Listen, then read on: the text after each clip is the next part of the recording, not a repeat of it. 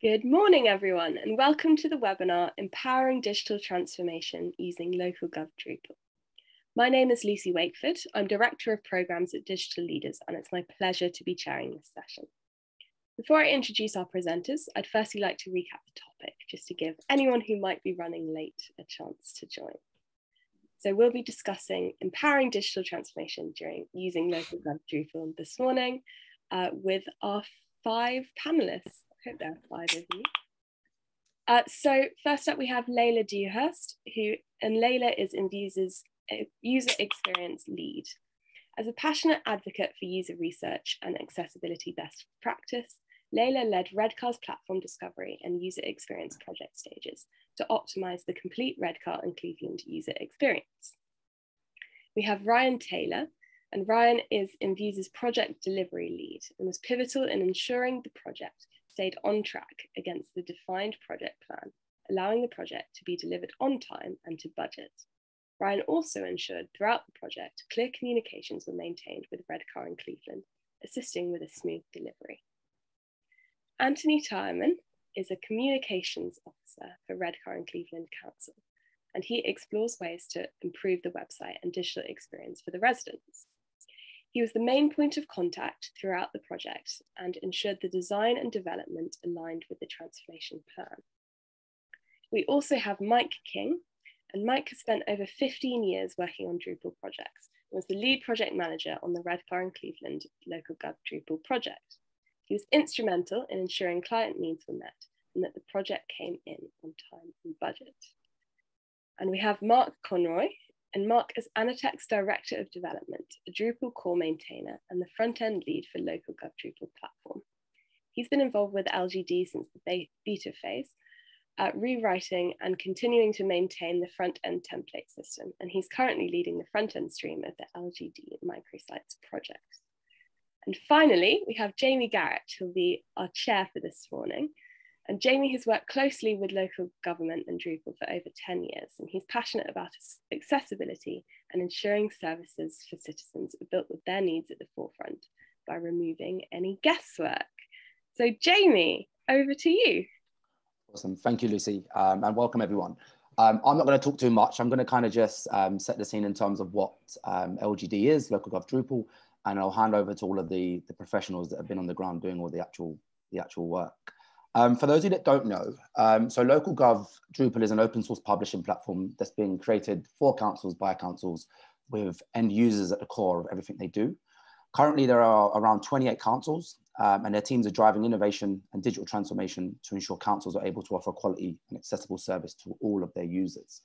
Um, for today's webinar, we've obviously got um, Ant on the call, um, and Ant works at Redcar and Cleveland Council, and he is going to be sharing his story about around how he's worked with us to to launch their new LGD uh, website. So without further ado, I'll hand over to Ant, and he's going to give you a bit of an insight as to why Redcar and Cleveland, Cleveland had to change their website um, and a little bit more background around the project. So Ant, over to you. Morning, everybody. Um, yeah, so as Jamie's mentioned, I'm a communications officer for Redcar and Cleveland Borough Council. Um, we've just launched a LGD-based corporate website to much um, fanfare to our users and residents and our stakeholders. Um, I think the the project was, was kicked off mainly because of the um, the difficulties we had with our previous corporate website that was a, a SharePoint based um, website that was largely um, problematic for us with our our content and the the content delivery, the way that we we put the site together, um, and the ways that we could develop our or the inflexibility that we had with being able to um, redevelop and um, improve our our corporate website overall. Um, we initially had some wider organizational goals in relation to using SharePoint as a, a center point for all our digital transformation, our digital strategy, and our digital delivery. But as we move through the, the product's lifespan, the, the development of the product before launch and then the, the initial post-launch period, uh, it became apparent quite quickly that it perhaps wasn't the best um, fit for us as an organization, particularly in helping us to redevelop our user experiences and, and deliver that high quality, really accessible and um, really feature rich experience that we wanted for, for residents to give them easier access to information and services um, as part of our overall digital transformation. Um, we as some of you may know, had a um, a cyber attack in early 2020, just before the, the start of the COVID pandemic, and that further cemented our um, our thinking around moving away from SharePoint as our corporate platform um, into something that was a lot more flexible, a lot more um, user friendly, and a lot easier for us to manage and maintain um, technically, um, so that we weren't stuck with a heavy amount of technical debt or, or having to um, reach out to niche groups of developers and, and other industry professionals in order to help us support and develop what we had. When the cyber attack took place, I was tasked by my service lead to have a look around at what other local authorities were doing, uh, what was available in the market, particularly with a look at open source products. We explored a number of local source products, um, open source products, sorry. Um, then we settled on LGD after a, um, we had an invite to a, um, an LGD product meeting from Will Callaghan. Um, and we, we chatted to a number of the developers, a number of the local authorities that were part of that project at the time. And it was quickly apparent that this was a, a very good fit for us in terms of um, what we had internally in terms of our resources for development, resources for content management, etc. And it, we, we started talking to um, was Westminster Council, um, Brighton, um, and a couple of other councils that were already on board with the project. They explained what the project was, what the aims of the project was, um, and, and, what they wanted to do with with LGD, and how they felt that the, the product could develop over time, and how we could be, um, a, you know, a part of, of that development. Um, shortly after we decided that this was what we wanted, um, went out to procurement, got ourselves a, a partner in um, Annertech and Views, and away we went from there. Uh, and yeah, it, it's you know from first the first sort of observations of it all, we were extremely impressed with what was available straight out of the box. Um, and then, you know, as the project uh, the project developer were quickly um, quickly into uh, you know a, a, workable product and something that we were really impressed with. And we launched two and a half weeks ago. Been a very seamless launch, frankly quite quiet, which is odd for me. Um, but it's been yeah, it's been it's been you know the, the transition to LGD has been seamless is the is the word that I use quite quite frequently when I talk about how we've moved over, and it's been interesting to see um, how the products developed whilst we've been developing our website and, and what um, what's in the pipeline going forward. Awesome, that's great. And um, just just on, so you, you touched on a couple of challenges that you had with your previous website, um, yeah. and I'm sure there were lots of objectives for the new website. What were the kind of the main objectives that you were trying to achieve with with? Yeah, so a lot of our um, a lot of our issues were around um, well, particular barriers were related to accessibility and our um, content being inaccessible and certain elements of our website being um, inaccessible. We had our GDS audit, and that was um, illuminating, we'll say, uh, to, to some of the issues that we we came across, and that was a key thing for us that when we were procuring um, a new product and a, and a partner to work with, that we we had that right at the center of our um, our thinking that, that we wanted to create a, um, a user-friendly, um, accessible website that improved the overall user experience and residents and stakeholders' ability to access the information and services that we could give them alongside being able to access some of our self-service products and, and services that uh, we've been developing in the background as part of our digital transformation strategy. Um, and it's been, you know, the way we look at this is our corporate website is now our core piece of being able to deliver other elements of our digital strategy. And we've um, we've seen from the product that we've launched and, and what's going to happen with um, other developments inside of LGD that it's going to continue to um, help support us on our digital transformation journey and, producing a, an overall digital experience for and for residents and stakeholders that we think will be uh, as good as any locally, definitely, perhaps regionally, and even nationally. Amazing. And I think just to touch on what I've said there, one of the key benefits of local gov Drupal is that um, other councils are working on similar challenges and, and introducing features and um, resolutions that then get shared with all the other councils free of charge and ready for them to use. Um, let's hear a little bit from Layla and and uh, Mike at Annertech. So obviously Ant has the view of what the challenges were from the website as the customer, but when you guys first got involved in the project, um, how did you guys find it? Um, so from my point of view that one of the first things i do is always an audit and analytics review um, i was also fortunate enough to go up to redcar for a couple of days and spend some time doing stakeholder sessions lots of kind of back-to-back chat and that sort of thing um, and the challenges and barriers were essentially the website wasn't fit for purpose as ant said it wasn't accessible. And that was from the kind of structure of the site, the content, and also the documents on the site as well. So there was a, kind of a big problem there to solve as well.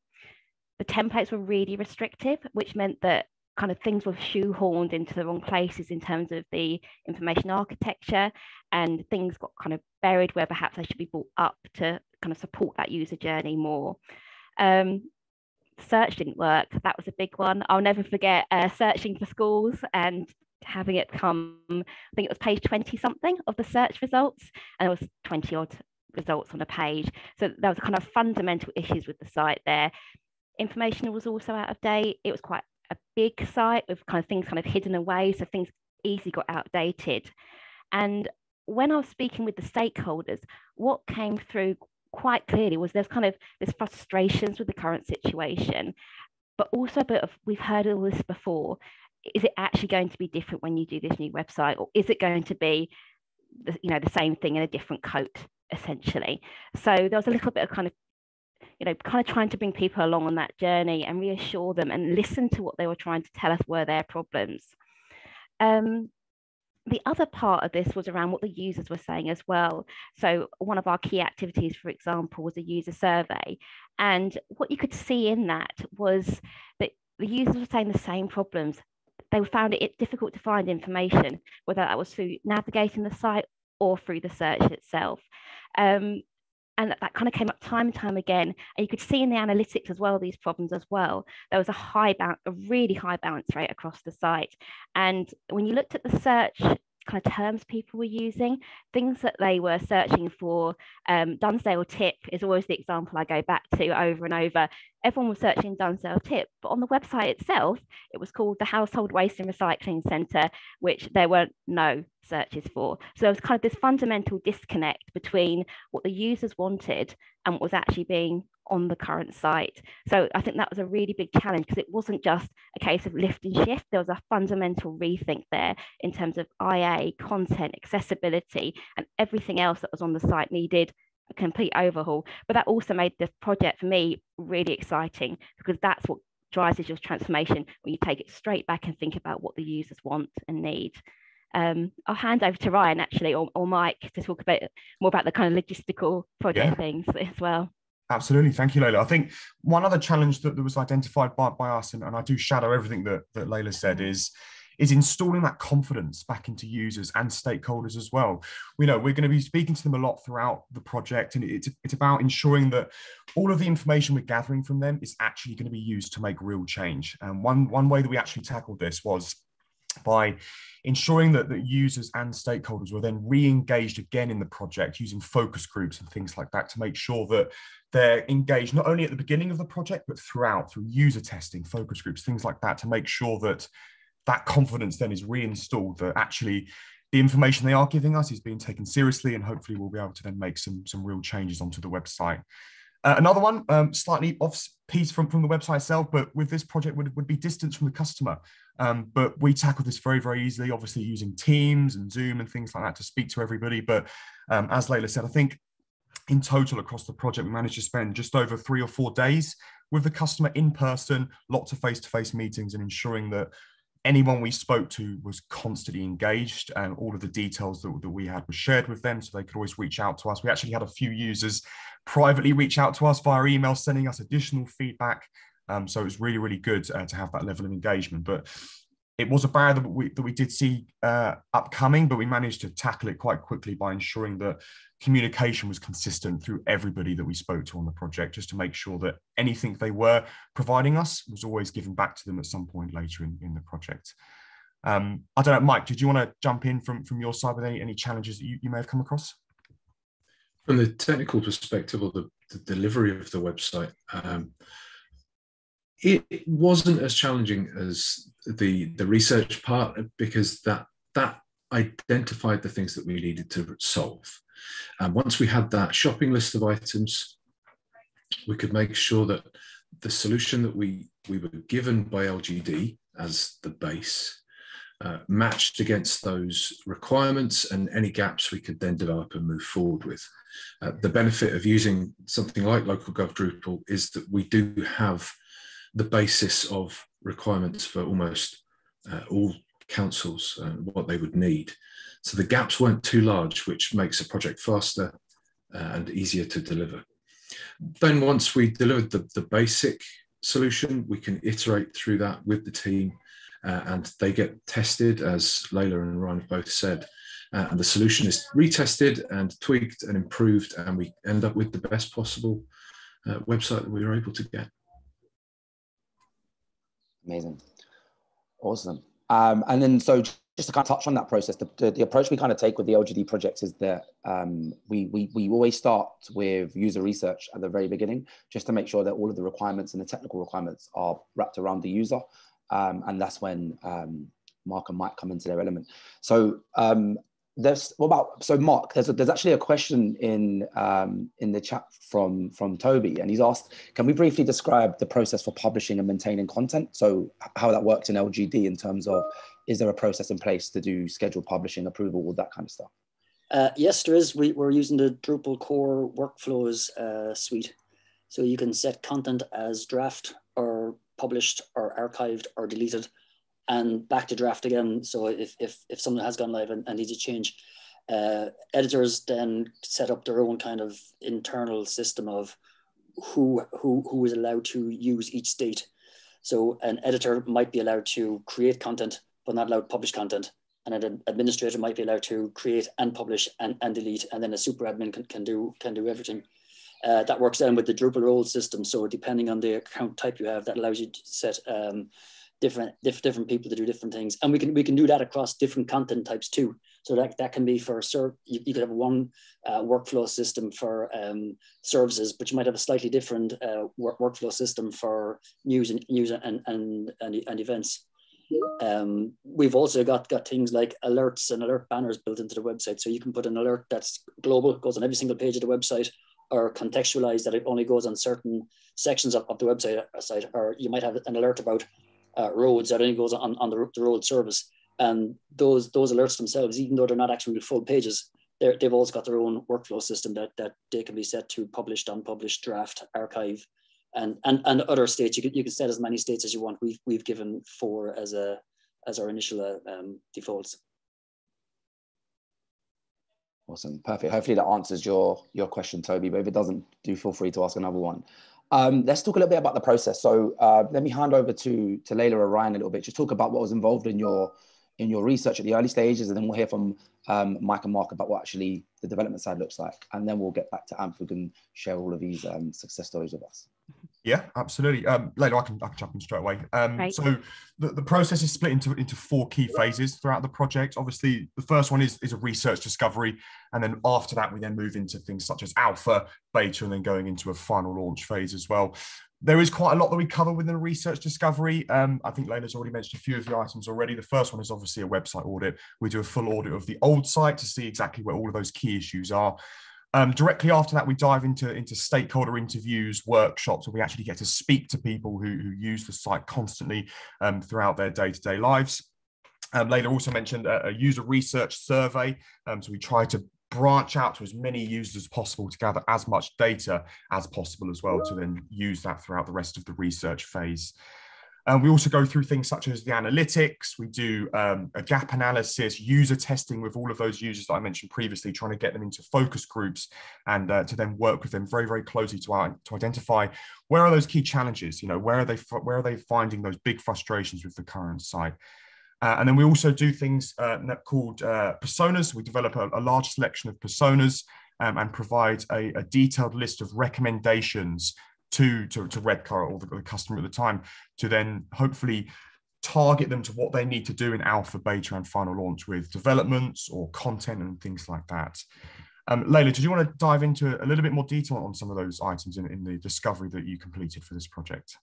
Yeah, of course. Um, so I think the key thing for us is ensuring that that voice of the end user is coming through all elements of what we're doing. And what we found is that by doing that, by ensuring that your new platform, new website reflects that voice and what the users want and need, you can really transform a website to become that kind of cornerstone for digital transformation. If you have that kind of the way I always describe it to people, if you have that kind of strong core at the beginning, you can build on that. You can add the other services. You know, you can plug in your CRM and that sort of thing. But if that's not built with kind of strength in the middle, when you start to try and plug in those services for transformation, you know, trendy things or chat or whatever, it starts to kind of crumble. And that's when that's kind of the importance to me around user research because when you can hear that user's voice and it supports the user to complete things kind of digitally first, it really becomes that kind of key part of the council, that core kind of center point for that change there. Um, in terms of the kind of research and development things that we do, as well as kind of looking at the kind of current situation and building that wish list, what else is it the council want to do in the future? What is that? What does launch look like? But what does it look like six months from now, a year from now? This isn't about stopping. This is about launch and then what next for us, very much so. And things like the personas, that's what we can use to build those things because there'll be a huge list with in there you decide what you want to launch with, and then you decide what's going to need further development, what's going to be phase two, phase three, phase four. So it's really important kind of core research to build your thinking and decision making on. Mike, shall I hand over to you and Mark now to talk a little bit more around the development processes? Yeah, absolutely. So uh, I think I, I, started covering this earlier, really. Um, yeah we have two threads in the development. The first thread would be features, uh, and the second thread is the, the look and feel. They do cross over quite a lot, obviously, because you can't have a feature unless you know what it's going to look like. But we tend to try and start with the overall look and feel of the site and the, the brand and adhering to brand guidelines and designs or any requirements that um, a council has or a client has. Um, in the case of Redcar, we, we played around with quite a, the logo quite a lot. Um, it's it's a tricky logo. It's quite long, um, but we so iterating through that and making sure that we don't just um, settle for what looks all right. We've got to work through it, talk to people, inquire with as many stakeholders as possible to get the best solution. And the same then happens with the rest of the look and feel and also the features. Uh, so each of the features that we have, we would perform the same process, get a, an initial design, an initial um, working prototype, which can then be tested and checked and tweaked and improved. Anth, I don't know whether you want to add something about the process how you went through it and how you felt going through it, I guess. Yeah, I mean, I'll, I'll start with um, with the things that Layla and Ryan have mentioned that the um, the that that process was extremely positive for us as a communications team as well.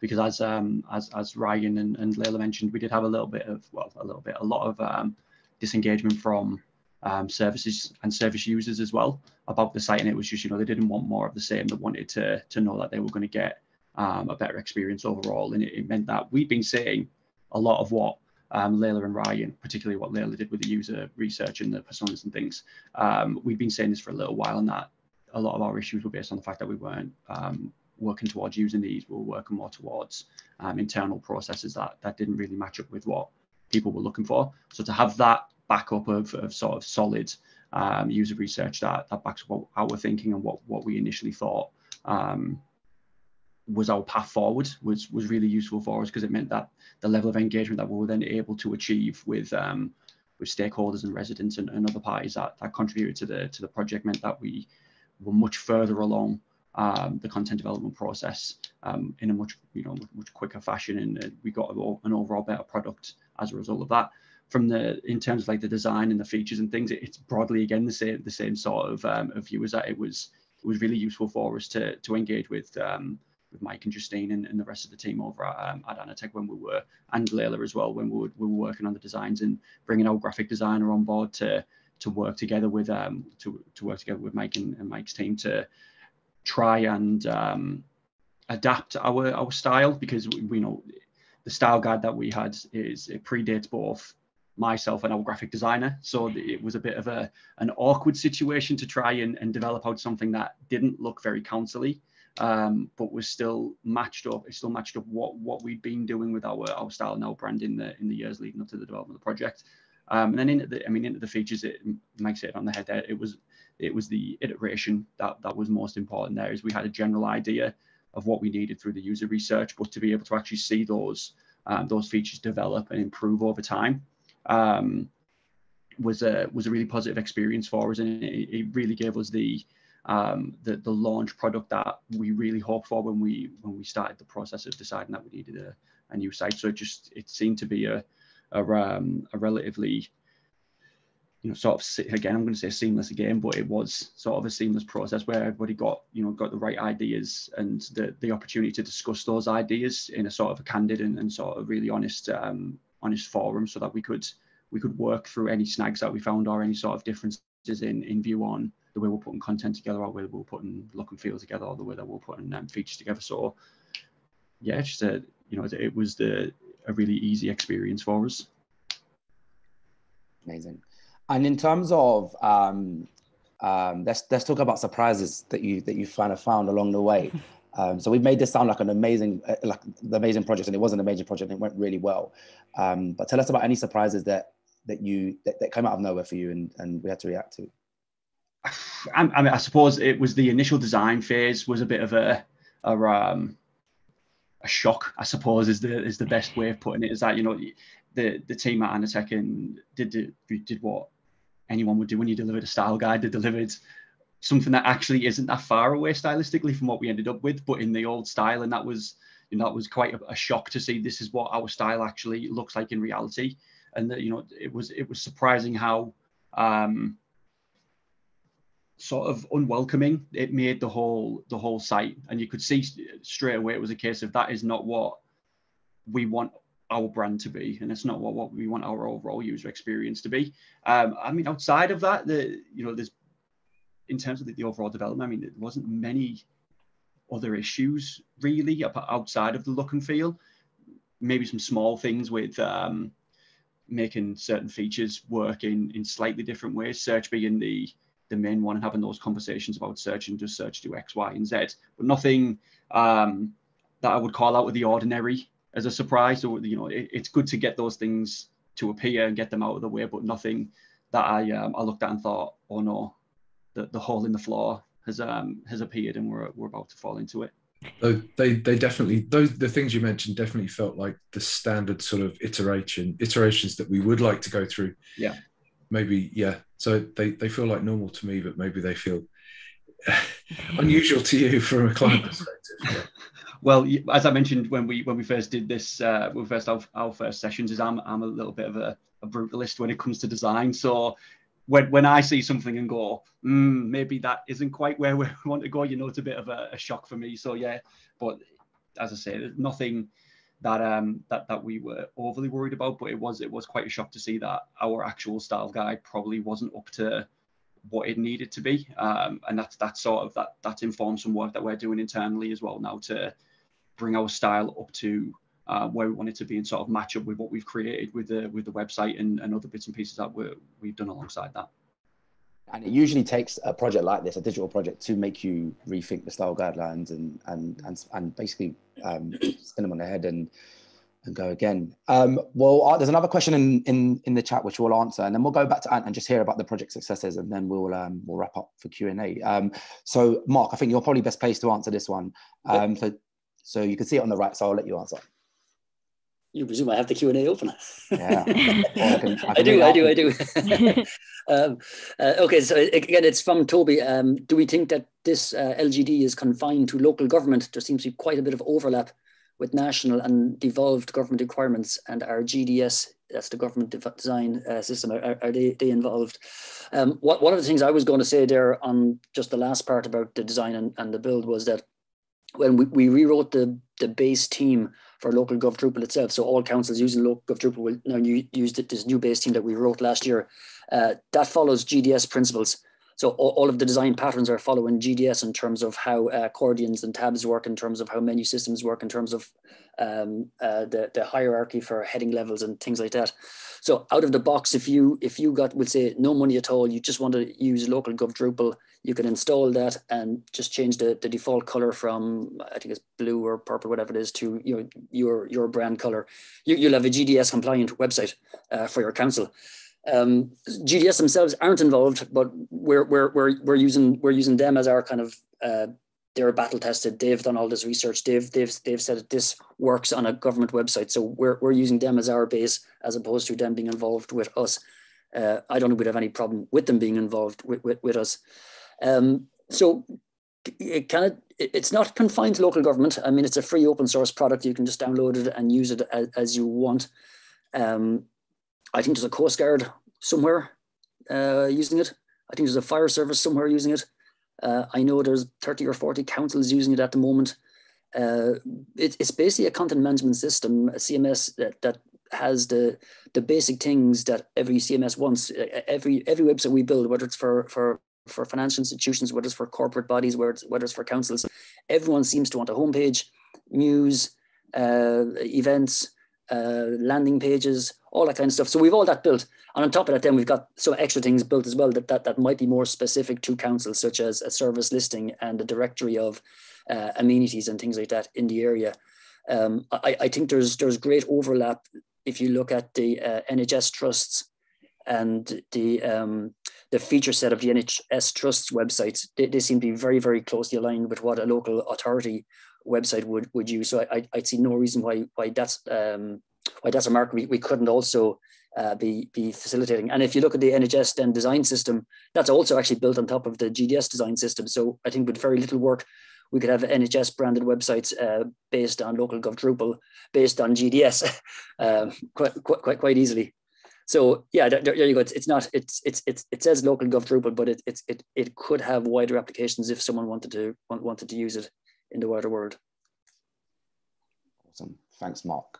Okay, um, let's wrap up here then. Let's go back to and, and what we want to we want to hear about um, the results. So we we've we spoke with Gabe on this on this call and we said how great things have been. But what have the results actually been like since launch? What's the feedback from stakeholders and users and, and how are you measuring it? Yeah, so it's been I mean it's been quiet is the word that I use, which is for me that that equals a successful launch. Um, we've had very little um, feedback from um, the the services to say that they're unhappy with anything that's gone on. Um, a lot of things have been content changes initially from um, beta versions that we did and, and re-up and, and reworking some some content. Um, internally, it's been well almost universally positive in terms of the feedback that we've received. Everyone from our, our, top table at EMT through to our um, our frontline customer services colleagues who we we've um, engaged as sort of power users for the site because they you know they're our, our front door to um, to residents and they needed a better front door to information. They're all they're all commented very positively on um, on the experience that they've had with the new site. Much easier to use. The search feature actually works and gives you the results that you expect when you search for certain terms. Who would have thought that that would have been as important as it is? Um, but the overall internally has been universally positive. We've had very little negative feedback externally as well. We've had our usual sort of um, the you know people who liked the previous site, um, the you know, for, for whatever reason. Some people like what they like, they don't like change and things like that. But we've not had anything directly from our, our residents or our elected members or other sort of key partners and stakeholders in the same manner that we did with our previous website website launch. Um, so broadly speaking, it's been, you know, if you're going to measure anything in terms of success, we, we were measuring it on the, the sort of the feedback that we were receiving or the lack thereof. And this has been a, you know, a, a complete success for us. And it, overall, our measurements for for success in the interim or the, the shop this this sort of initial launch period um, are related to the sort of the feedback that we're receiving um, verbally or through our our content our contact channels about about the site and the specifics about the site. We've decided to focus on the areas that we knew the site really struggled last time around, which is quality of search, quality of content, quality of overall navigation. And those are the three main areas that we're, we're keeping an eye on over this sort of this first month to six week of six weeks of launch. After that, we're going to start looking at um, things like bounce rate and the use of the use of search and the terms that are, are being used. Um, and the overall feedback from our um, we've, we've put together a, a, feedback survey that, that we're going to send out to our our view viewfinder panel on a quarterly basis to, to see how their um, their experience is differing as we move forward and the site develops and matures and we add more content and deliver more services through the through the website. Um, but overall it, it's definitely it's definitely been a success for us and um, I think the, the major thing for us is for us to go, to have gone from where we were to where we are in nine months um, and, and launch as smoothly as we as we did is the um, is the is the best the best measure of success. And you know, we've had a, a an, an, incredible experience with um, you guys over at, at InViews and, and Mike and the team over at uh, Annertech to, to work together to create something that we think um, gives us a real solid core and foundation for us to continue on our, our digital transformation journey and, and start to really um, put our, our user needs and our user experience right at the core of everything that we do with our digital platforms. Amazing. And, and and the great part of this is this is just the beginning, right? The project's now live. Um, yeah. But with a platform like LGD, it's consistent user testing that keeps we keep doing just to make sure that the the, the website still meets the needs of your end users. Um, so that's awesome. Um, we're going to wrap up um, by asking each of our panelists just to summarize the project in three words. Um, not sure they've prepped for this one, so this could go anywhere. But um, let's start with Ryan. Awesome. Um, so I think I would definitely say engaging. It was very engaging throughout. We spoke to so many people, and even even when we spoke to, to all sorts of different end users and stakeholders throughout, there was always that level of engagement there. I'd also definitely say it was transparent. Um, any feedback we got from users was always was always shared with the wider team. There was nothing we kept to ourselves. We were always very very transparent with with Anthony and his team, but also with, with Mike and the development team as well throughout this project. There was nothing hidden from anybody throughout. Um, and lastly, I'd, I'd say enjoyable. Um, we always had a weekly catch up every Friday. It was usually last thing on a Friday. Some people think that's a good thing. Some people think that's a bad thing, but it was it was definitely our favourite call of, of the week. So um, it was really really good. It, it, gave us a chance to to catch up with everybody before the week ended, and um, yeah, it was just enjoyable throughout the, the nine months. That would be my three. Awesome. Uh, Mark? I'm, I'm going to go just for one because Ryan's taken some of the ones I was going to use. but the, the, what I'm going to use is, is empowering. I think one of the great things about local Gov Drupal, and I, I want to speak about local Gov Drupal, not, not necessarily the Redcar and Cleveland project, is that it empowers any council to have a website as good as any other council. So if, if you look at um, uh, say uh, Westminster Council or you look at Essex County Council, they got budgets way, way bigger than Redcar and Cleveland. Uh, but the user needs in Essex, someone wants to find out when are my bins going to be collected is the exact same as somebody in Downing Street wondering when are my bins going to be collected, you know, uh, or, or, somebody up, up, up in, in, in Redcar. So, so you, using this system, and, and I'm, I'm, deliberately using those as examples because Westminster is also built on uh, on, on local gov Drupal, and Essex County Council is moving to local gov Drupal as well. Uh, but so, so to, to say that that Redcar can have the exact same website platform underlying it and then brand it exactly like they want to brand it, I think that's that that's really empowering for uh, for councils yeah and that's and that's the power of open source and and yep. getting people working together to solve the same challenges in one place rather than than siloed um layla I'm going to take it one foot further than enjoyable, Ryan. I'm going to go fun. I really enjoyed this project. I liked working with everyone. So, I mean, obviously, we've got some representatives from the team here. There's a much wider team involved here from Redcar, Manatech from our side as well.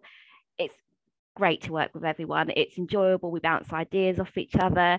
It didn't ever feel like, like Ryan said, a drag ever to talk to anyone. You know, it was always positive, always fun.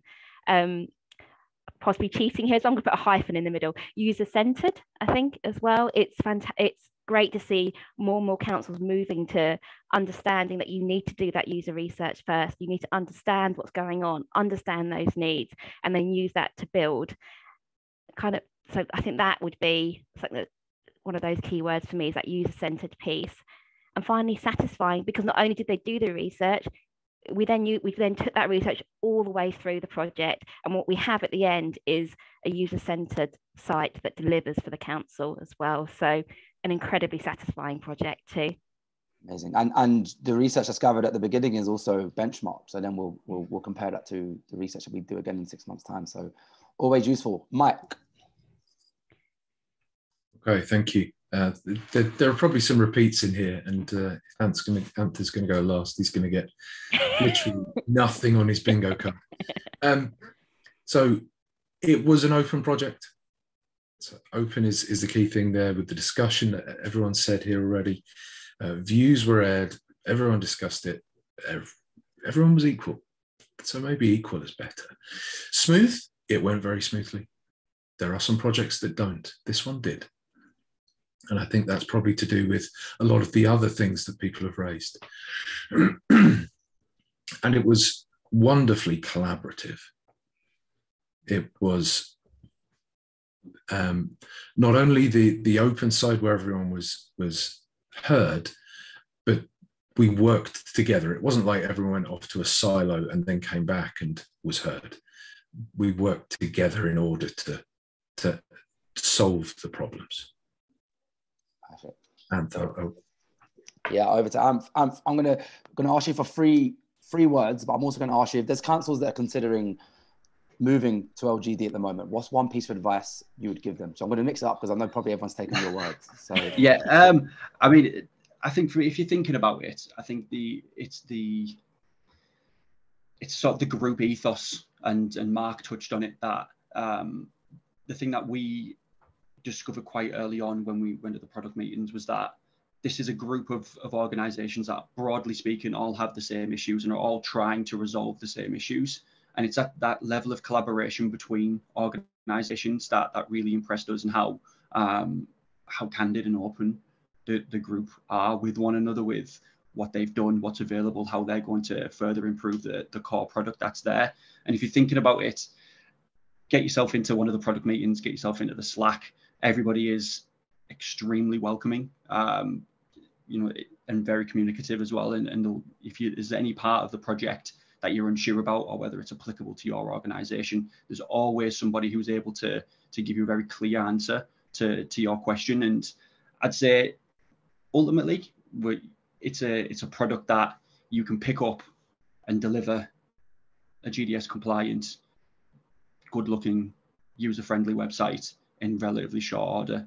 And from our side as content managers, it's a relative well, it's a very easy product to, to use as well. So it's um, it's just an overall again I've used Seamless numerous times today, but it's a it's a it's a seamless product to use. And if you're thinking about it, have a chat with any of the guys in the um, or any of the teams in the in the group already, and you'll soon see why um, more and more councils are becoming part of the project and picking up the product. Um, and if you know, I'm open if anyone wants to speak to me about it, I'll speak and speak and speak on it and evangelize it until I fall over. So it's just a case of it's there to, to be looked at and you can see everything that that's about it and get some full explanations from people who were actually in the trenches as it were developing it and, and redeveloping it. So take a look. It's very much worth your worth your time to to have a look at what's available. Perfect. Thanks, Dan. Um, we're going to start calling you Seamless now. Um, so, so I think we've we've kind of uh, you probably heard enough from us now and, and all the panelists. So uh, we'll hand back over to to you, Lucy, and we'll see if there's any questions. Excellent. Well, thank you so much, everyone, um, Layla, Ryan, and Mike, Mark, and Jamie for that insightful presentation. It's been really interesting to hear about the project and hear some of your learnings. So, thank you. So we do now have a little bit of time for some questions. There are a couple that have been sent through, but as I mentioned, if you do have a question, please send that through now on the Q&A tab. Otherwise, you will have an opportunity to carry on the conversation later at week.digileaders.com. Sorry. So I've got a question here to start off with. What are the three main benefits of LGD? Who wants to take that? First? Probably, probably one for Ant.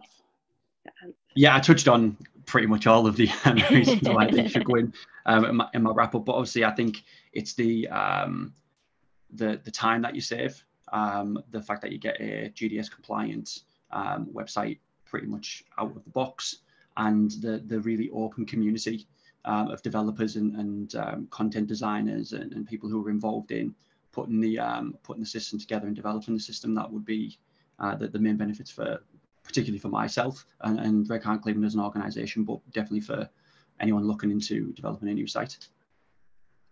Okay, great. Thank you, Um, so another quite a simple one. What? How many councils are involved with LGD? Uh, there's currently, I think, about 25 councils I think there's four or five counts that are involved that aren't listed officially for, for whatever reason if they've decided not, not, not to put their, their logos on, on the website. So if, if you go to localgovdrupal.org uh, and click on the four Councils uh, um, tab, you, you, you, can see all the councils that, that, that, are involved there. I think it's about 25 at the moment. Uh, we've, we've just started working with our first council here in Ireland as well. Um, so in, within Annertech, we've built five or six or seven council websites, but this, this is our first one, Tipperary County Council, uh, that's actually using local Drupal. Hmm, great. Awesome. And have you had any feedback from your residents or have you seen a rise of self-serving? So we are two and a half weeks into the um, in, into the site being launched, um, but we've already noticed our, our customer services colleagues have already said that they've had comments from residents that have called them for whatever reason to say that the um, it's a lot easier to access the um, the digital services that we currently have already, and we've made use of um, the task buttons that are part of the um, the service page content types within local gov Drupal to, to facilitate that and make that much easier. Previously, it was links inside of page text and it, you know, things could get lost, but um, we made that much easier for residents and made that much more prominent on pages so that the you know, when, when we start to really push towards digital first and digital self-service our, our primary method of um, of communication and contact with, with residents, we think that will really go forward. And the main feedback that we've had is that the site's just easier overall in, in all elements. The, the content quality has, in, has improved, so it's easier to find the or easier to, to access the information that you're after. Um, the search function works brilliantly, and the, the overall navigation um, is, is made much more um, in a much more common sense manner, so people naturally navigate to areas where they think they're finding information, and we're not getting as much, well, virtually no feedback to say that content is in um, quote unquote the wrong place. Um, so that that's been the the main bits of feedback that we've had. Brilliant, great feedback. Um, and what was the biggest finding from the discovery and user research? Oh, I think that's probably for me, isn't it? that one. Um, I think what came out really clearly for me was that there was a need to completely refocus, to start again, and to really put that user at the center of the website. So this was from everything from the information architecture, so that Redcar site has a completely new information architecture based on what users think and how they think those journeys should do, rather than how it's structured within the council. Content rewriting, accessibility, all of that sort of thing. So really refocusing that kind of focus of the website back to being on those users and hearing that end user voice throughout the site. I think that was what came out most clearly. This wasn't a lift and shift job, this was a complete transformation. Okay, brilliant. And, and a question from Gary. Was cost saving a factor in going with LGD? Question for Ant. Um, no is the is the answer. Um, Layla's hit it on the head. Is we we have a digital transformation project that um that that we're we're embarking on now, and we our cyber attack in, in early 2020 kind of cemented this that we we needed to completely refocus our attention on our digital strategy um, and how we can better approach the ways that residents access our information and access our services because you know when you when it's all gone you suddenly see that there is a big hole there that needs to be um, needs to be rebuilt and needs to be more resilient, needs to be better overall for, for us as, as officers of the authority and for, for residents trying to access information and services. Um, ultimately, we were where we were looking for the best product that met our needs and met our ongoing um, transformation needs. And this is the this just happened to be the one that that that we um, we landed upon. So no is the easy answer, but there is some caveats to that, and it's much more related to we wanted to have the best possible product to enable us to go through our digital transformation as smoothly as possible. Brilliant. Great, thanks, Ant. Sorry, getting a lot of questions at the moment. Uh, and then a final question: What was the buy-in like from the rest of the team in terms of change? Know who's who wants to take that? I mean, I, I can start on that one from from our CBC side. Is that um, I mean, Layla's mentioned it. Is that we had a lot of um, not resistance, but a lot of internal um, internal colleagues who um, wanted things to be in a certain way that suited them as, as officers in their team, so that they could find the information that they needed in terms of uh, the, the biggest one is the Dunsdale tip versus the household waste, waste recycling centre conversations that we had, um, and using the user research and getting the information from Layla to, to enact those changes in the way that we used our language to make it much more user focused was one of the biggest challenges that we had in terms of changing and trying to explain to officers and, and various services that the goal of the website is to deliver information for residents and access to services for residents. So it should be built, designed, and written in a manner that suits them. And that's a, that that's an enormous change for us. Um, our previous website and the, the one even before that was very, very um, corporate focused and, and allowing services to have all their information on, on the site as opposed to delivering the best quality and the most usable and the most useful information for residents. That, that was the um, the biggest change we've seen and the, the level of buy-in that that we got from services once we went to our alpha phase to show them that if you listen to the, the user research that you're getting overall you're getting a better product in terms of what you're getting in look and feel but also the quality of the content which we also extrapolate up to. If you have better quality content you're going to reduce the need to have um, person-to-person interactions with with residents unless absolutely necessary and that's one of the the parts of our digital strategy and our digital transformation goals to um, reduce the need for people to speak to officers directly. Not because we don't want them to but because we've developed content in a manner that is um, is high enough quality and is useful enough for them to be able to get on and do what they need to do without having to get it explained. Great, brilliant. does anybody else have anything they want to add to that? No? Great. Okay, well, I think we are unfortunately out of time. So thank you all so much for tuning in. And thank you so much to Layla, Ryan, Ant, Mike, Mark, and Jamie for such an interesting and informative session. The recording of this will be on week.digileaders.com on the same talk page that you registered on, and you'll also be emailed a link to the recording later on today, and you'll be able to share that link with colleagues and watch it back at your leisure. Getting some nice comments in the chat. Thanks to you all from Toby. Um, so thank you all so much again, and we hope to see you soon. Thanks, everyone. Wonderful. Cheers, Thanks, thank everyone. You. Thanks, everyone. Bye. Thank you.